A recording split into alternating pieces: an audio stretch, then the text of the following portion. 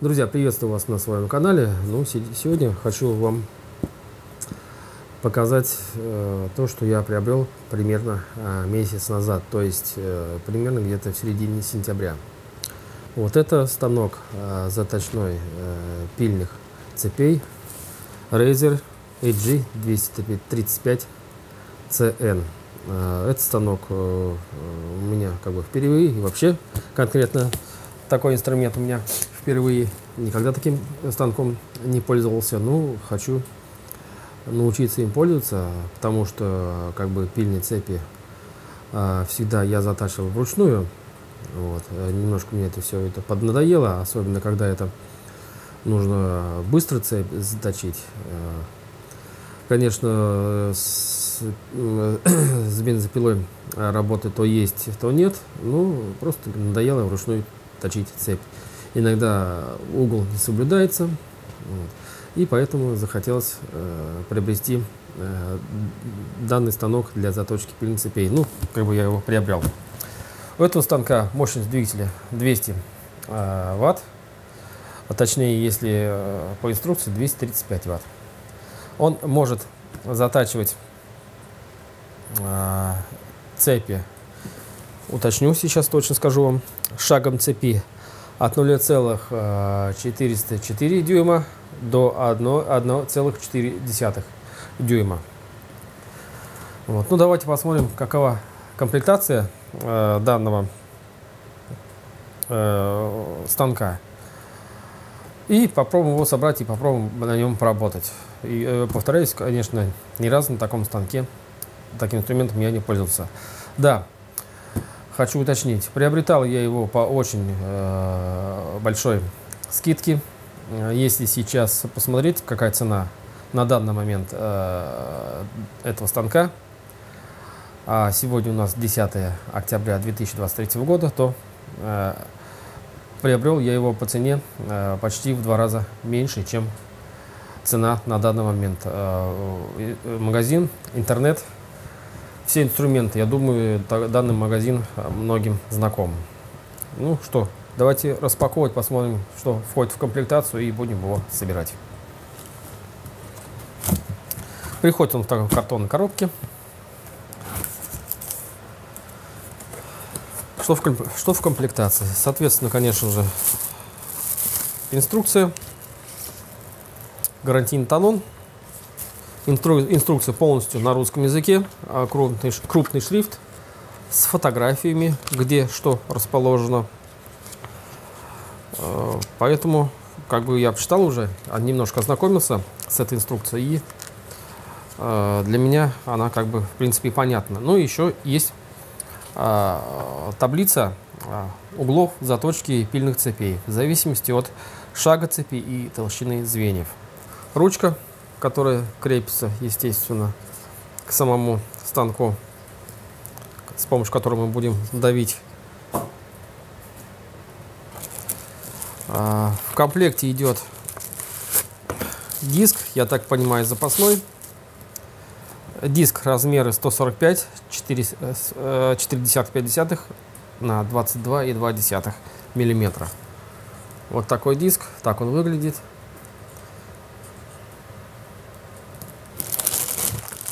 Далее здесь вложен комплект всяких э, болтов, э, ключи для сборки, ну, конечно же, ручка регулировочная и э, определенная шкала или калибр, можно так сказать.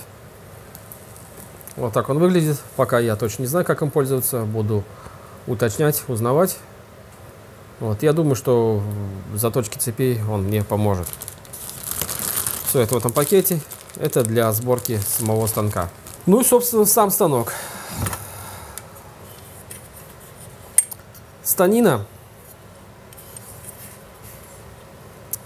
Вот так она выглядит. Станина станка. Так, угол поворота стола для заточки цепи от 40, то есть до 40 градусов влево и вправо. То есть стол может вращаться или туда, или обратно. 40 градусов. Ну, а здесь, я думаю, что другая шкала. для определенных тоже работ. Пока не знаю как, точно, но буду уточнять. Станина станка. Собственно, сам станок. Двигатель. И уже э, на нем установлен диск заточной, который конкретно подходит для моей пильной цепи. Размер диска 145 на 3,2 на 22,2 миллиметра. 3,2 это толщина диска. Ну что, друзья, приступим к сборке. Если обратить внимание на станину, кстати, станина полностью металлическая, то она может крепиться как к горизонтальной поверхности, то есть к верстаку, к столу, так и к вертикальной поверхности, то есть к любой, в принципе, стене. Для этого здесь есть отверстие для крепления. Вот это отверстие, это для крепления к верстаку. И вот эти отверстия, вот отверстие и вот отверстие, это для крепления э, к вертикальной стене, к вертикальной поверхности. Ну, приступим к сборке. Ну, конечно же, я повторяюсь, инструкцию я немного изучил, как его собирать, потому что я дилетант в этом деле. Здесь есть направляющая на этой части станка, где установлен двигатель. Вот эту направляющую надо установить вот в это центральное отверстие.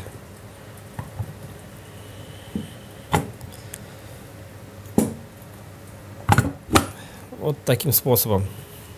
Дальше берем ручку. Здесь имеется болт. И вставляем этот болт.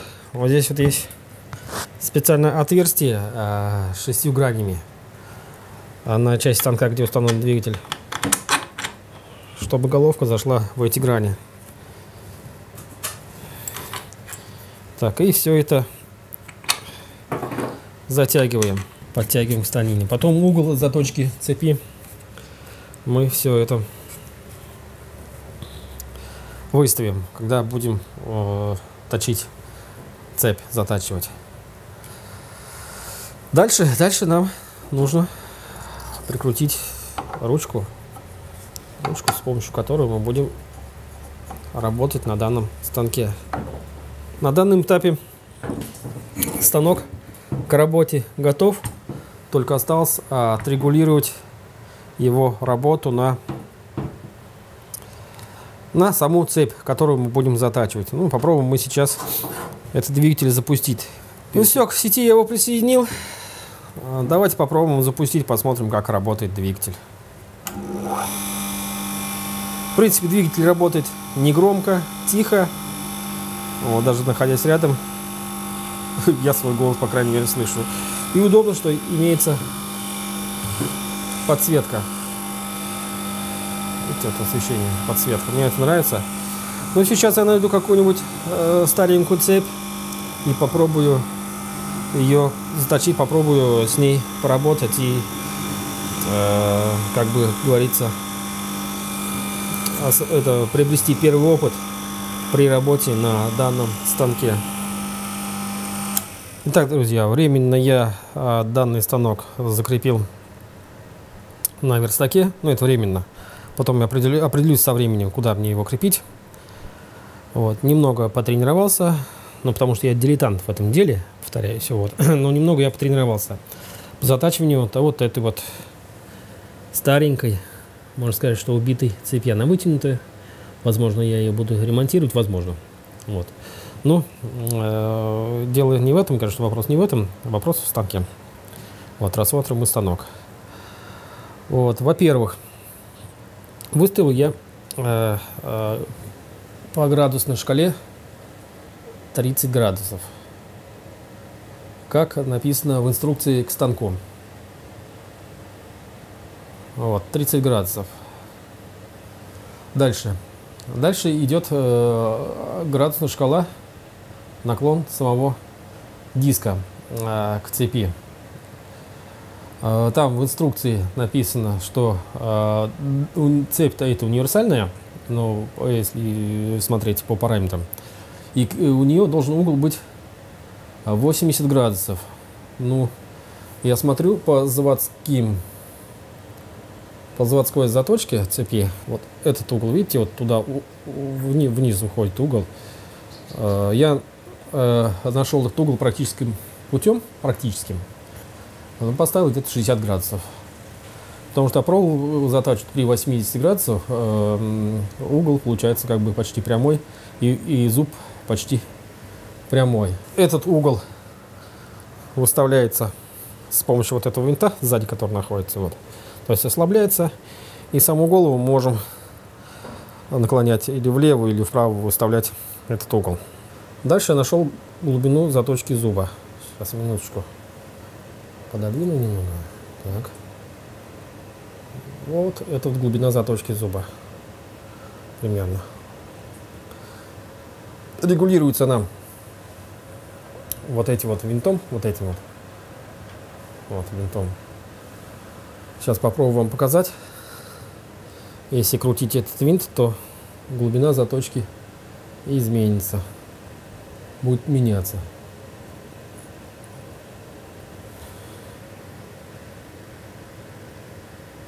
Вот, вращаю винт, видите, вот сам диск поднимается. То есть я сделал так, чтобы диск слегка соприкасался с дном, если можно так сказать, с дном зуба. Слегка. Вот. И контрагайка затягиваем. Еще раз проверяем. Диск слегка касается э, дна самого зуба. Ну, основания, можно сказать, зуба. Так, и еще вот этот вот упор выставлять надо. Верно. То есть вот он. Вот эта вот сама часть полностью двигается или вправо, или влево. Вот. Здесь зубы, можно сказать, что убитые. Надо настроить, настроить так, чтобы диск слегка прикасался тоже к кромке зуба, потому что зубы надо восстановить. Заточка производилась вручную, вот, поэтому некоторые углы, ну, некоторые зубы надо восстанавливать. Вот, можно сказать, что вот если обратить внимание на этот зуб, то он поврежденный. Видите, одна грань так идет, другая так, то есть двугранная получается. Выставляется это вот этим винтом. Можно немножко вот вперед покрутить. И цепь маленько э, двинется в направлении самого диска. Регулируется это без зажима. Поэтому просто мы зажимаем цепь, цепь зажата, чтобы она не прыгала при заточке. Ну и запускаем станок и пробуем, как он затачивает цепь.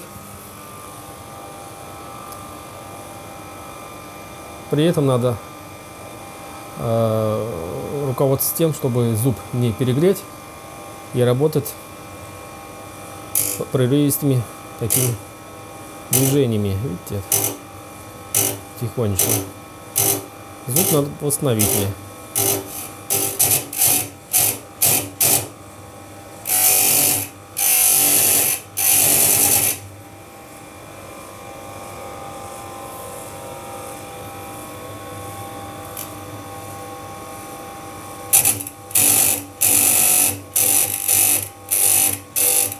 Все, диск уперся в основание. Конечно, возможно, я э, здесь немножко переусердствовал слишком глубоко. Э, цепь э, направил к диску. Ну, просто одной рукой, конечно, неудобно. Это же практическим путем добиться можно нормально. Вот, просто видите, уже теперь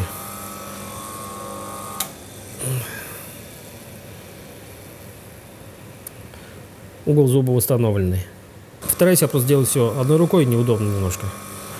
Давайте посмотрим, как с этим зубом будет работать.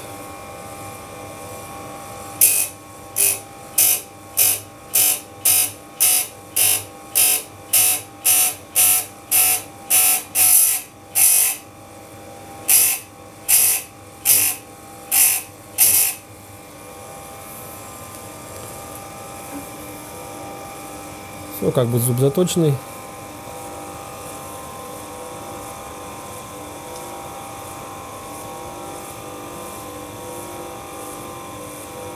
Так, немного исправлю глубину реза.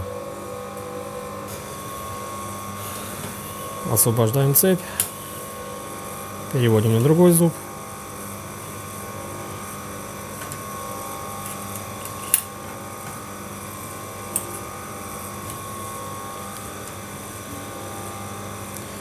Сжимаем и еще раз пробуем.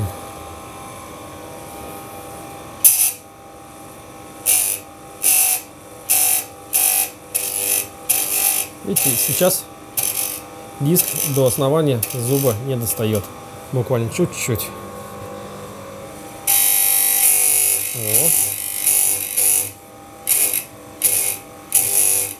Все. Как бы полностью настроенный. Зуб заточенный. Освобождаем. Переводим на другой зуб.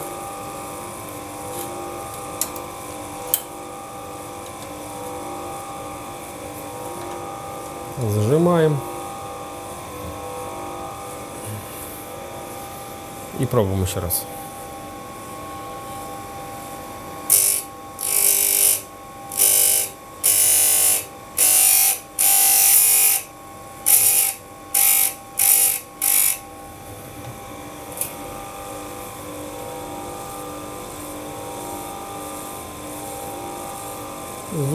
Со стороны заточенный.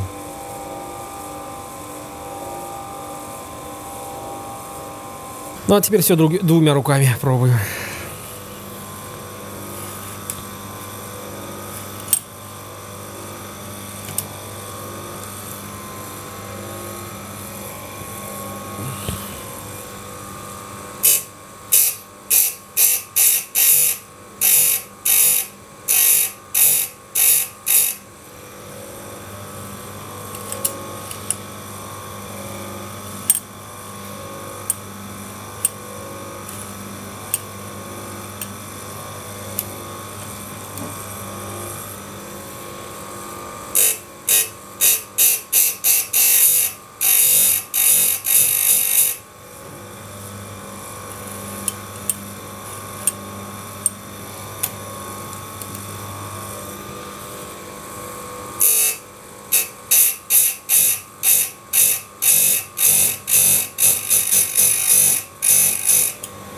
Так, это э, зубья э, заточены под одним углом, которые идут в одном направлении. Ну, все зубья направления, я имею в виду угол атаки. Здесь вот внизу, внизу есть э, под, под столом, под столешницей зажимной винт. Переводим его опять на 30 градусов. И затачиваем уже э, зубья, которые идут в другом направлении.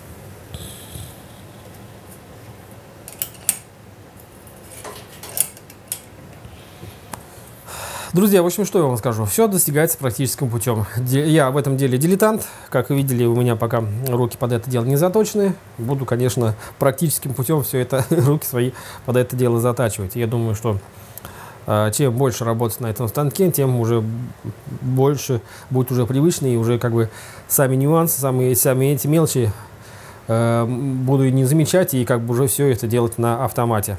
Вот. Ну, цепь я, эту убитую цепь которая подлежит восстановлению, она меня растянутая. Я э, попытался на ней подточить зубья. Вот. Получается, конечно же, намного лучше. Э, можно сказать, что красивее, качественнее, чем, э, чем напильником вручную. Вот. И зуб такой, получается, э, ровный стал. Вот. Э, в любом случае, некоторые зубья надо еще восстанавливать. Потому что вот эта здесь верхняя кромка, она бывает с гранями. Конечно, по металлу попадаешь, естественно, цепь садится, но немножко попрактиковался на этой цепи. Вот, все дело в практике. Практику, практика будет чаще, естественно, и получаться будет намного лучше. Ну, что я вам скажу по этому станку? Очень, очень мне понравился. Вот он меня поработал где-то минут 15-20. Э, двигатель э, не горячий, так, слегка-слегка такой тепленький. То есть, можно сказать, что двигатель не перегревается, мощности его хватает. Э, работал я такими слегка поступательными движениями, чтобы зуб не перегрелся, вот, чтобы его, как бы говорится, не закалить. Ну, каждый цепи, естественно, свой подход. На моей пиле именно такие цепи, возможно, какие-то другие цепи будут уже другие настройки, другая настройка глубины нареза. Поэтому, что, извиняйте, если что-то не так, пишите комментарии, подскажите, как, чтобы сделать правильно. Э, видео э, сначала я загружаю на Zen. То есть примерно потом после загрузки э, видео на Zen, это на YouTube загружается видео, может через неделю, через 10 дней, примерно так вот. Поэтому, если вы хотите пораньше увидеть видео, поэтому прошу вас подписаться на Zen. Ссылка на канал Zen в описании под видео. На этом, друзья, все. Спасибо вам за внимание. Желаю вам успехов в вашей работе и всем пока. Пока.